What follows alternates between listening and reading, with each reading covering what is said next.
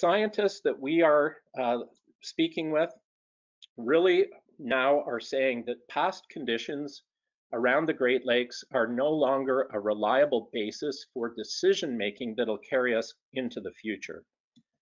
And I'll give you a little bit of uh, data here to back that up, but we're not going to spend a lot of time on this. We will be happy to do some climate change webinars in the future uh, where we can dig into a lot more detail on the information that I'll pre present with you uh, this evening. So back in 1884, this is what the, the world's temperatures looked like when compared against the average temperature from 1884 through 2020. So if you look at the, the world, it was predominantly cooler than the average temperature that we've experienced over that last century. But this time period now is much hotter than the average temperature over the last century. And we see the last six years have been the hottest ever on record. And of course, 2020 looks like it's well on track to be, again, one of the top two or three hottest years ever on record. So that trend is continuing. And that's a lot of extra energy that's up in the atmosphere now uh, that's having an impact. Now, when we talk or when you hear about this number in the press, you usually hear about the global average. And since 1948, that's increased by about 0.8 degrees Celsius. But Canada, in that same time period, is experiencing an amplification that happens as you go up towards the poles. From the equator to the pole, there's about a three times multiplier on the way that those temperatures are impacted. And if you've seen anything in the news recently about the fires and heat waves up in Siberia, north of the Arctic Circle, you'll understand that. So in Canada, we've seen an increase of about 1.7 degrees Celsius. Excuse me. And that means that we are starting to see these hotter temperatures move into our Great Lakes region. And that's going to have many different impacts that we'll just touch on today.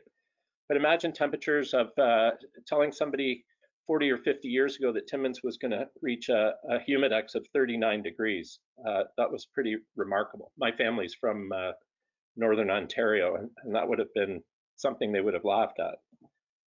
Uh, effectively, what was no longer is. And in order for us to think about how we can protect our families and our properties and enjoy our experience of uh, Georgian Bay going forward, we need to, to take in this information. We have measured the increase in water temperature in Lake Michigan Huron over the years. And in fact, since the 1980s, we've measured that the summer water surface temperatures have increased by about 2.5 degrees Celsius. That's very significant, especially if you're an organism that lives in the water. We've also seen from the 1970s a decline in ice coverage of about uh, 71%. Now, again, ice is variable from year to year, but you'll notice the trending line there is towards less ice. And in fact, modelers are now forecasting that we will have completely ice-free years in the Great Lakes in the next couple of decades. We also are experiencing record high water levels in Lake Michigan Huron. And those, of course, this is a picture of uh, the, the Trans-Canada Highway out at Pointe au Baril, but you can see the water levels are right up.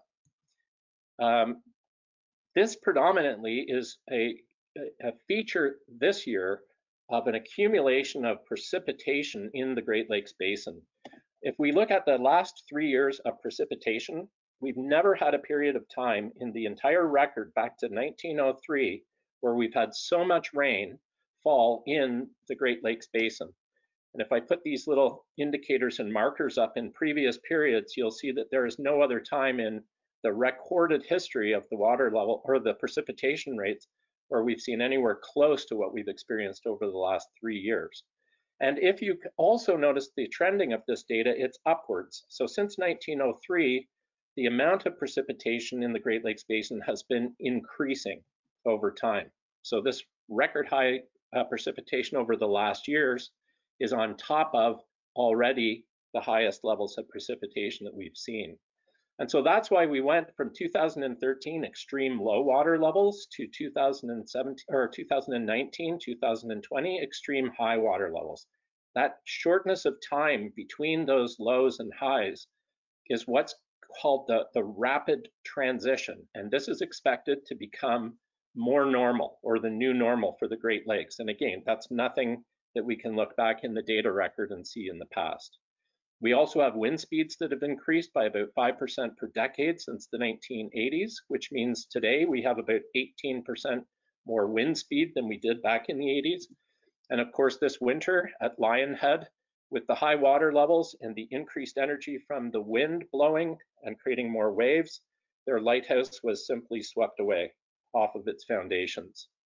So the infrastructure that we built around the bay wasn't built anticipating these conditions. And that's something that we're going to have to deal with and you can deal with specifically when it comes to your own uh, property.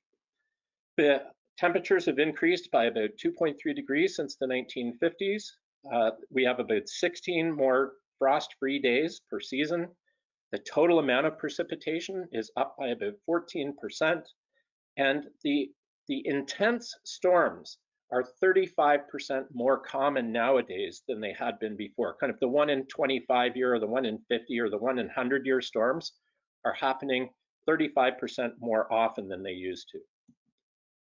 So this is changing the dynamics uh, of the, the environment. And we're seeing more precipitation happen early in the spring and back into October, but through the summer, conditions are a little drier the forest is drying out and so it's more open to forest fires. This is a picture of the Parry Sound forest fire back in 2018. We've got uh, more wind speed. This particular slide is in, uh, in uh, Quebec after that uh, storm, the day that had six tornadoes go through Ottawa and Quebec. But you can see the pontoon boat up on the shore and the uh, tree that crashed through the roof of the cottage. We have more precipitation hitting the land and running off, taking nutrients with it, including overwhelming the municipal storm, uh, storm and sanitary systems, which actually end up bypassing their wastewater treatment plants and dumping raw sewage directly into our bay. There was about 7, 000, or 7 million liters of raw sewage dumped into uh, the Midland area in 2017 because of storm bypasses that occurred. And then finally, we've got uh, increasing temperatures, which not only allow more water vapor and larger storms up in the atmosphere, each one degree warming of the atmosphere allows 7% more water vapor to be taken up into the atmosphere. But also that same one degree of warming causes an increase of 10 to 12% in the number of lightning strikes. And so we're seeing a lot more opportunities in dry forests for ignition. And that can put pressures on survivability when we look at uh, our communities, both from a, a re real estate perspective, buildings, as well as uh, people. So the real question, once we accept that these things are changing and that there are going to be these increased energies that are coming to bear on our properties, what is it that we can do to become more resilient? And of course, resilient means the ability to either withstand or recover quickly from these difficult conditions. But really, it comes down to how can we best protect our families if these conditions continue to get uh, stronger and stronger windstorms, more rain falling, potential for more forest fires, etc. right? It's about protecting our families. So the new realities are more extreme weather events, heavy rain, violent thunderstorms, hotter seasons, the flood season is now year round, uh, even winter time where we have more precipitation falling on frozen ground. Uh, we have uh, different water levels. There's more wind, which generates more wave action, more opportunities for uh, nutrient loadings into our waters, uh, which may impact our ability to drink the water from the bay if there's a toxic or nuisance algae bloom that ends up happening. Increasing stormwater in combination with the sewage in our pipes in these old municipal wastewater treatment plants can also cause uh, increased nutrient releases into our waters. And those, depending on where you are in the bay, can have direct impacts on your ability to use the water.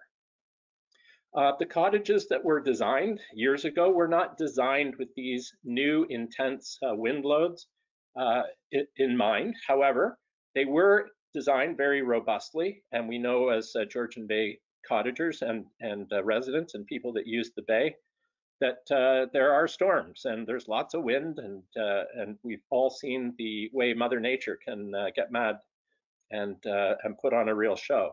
So they have been pretty resilient, but the considerations you have to make as you look forward are the, these new fluctuating water levels, water levels that you've never seen before, as we're experiencing now, are going to increase wear and tear on your properties and your infrastructure, docks and so on, and shorelines.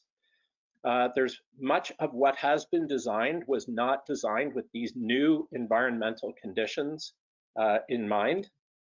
Conditions are different and they are expected to continue to get more challenging. We're only at the beginning of these impacts right now. Uh, we will be expecting to see them continue. And we have uh, summer temperatures that are expected to rise. So if you have uh, people that you're trying to keep uh, comfortable and safe, you may have to consider uh, different ways of uh, cooling. If your cottage is set up for passive cooling, in the historic conditions, that might have been fine, but if temperatures are two or three degrees hotter than they have been historically, uh, you may not be able to provide the same comfort with that passive cooling system. So all of these are considerations really that you need to keep in your mind as you look forward to making improvements to your properties or adding new uh, you know, features. And the one final point that I'll make is with these increasing uh, energy events, so bigger storms or bigger forest fires or things like that, they're going to impact more people. So if, if one cottage gets its roof blown off, it's really easy for the local resources, the contractors and so on, to come to bear with the materials that are needed and the labor that's needed to fix that.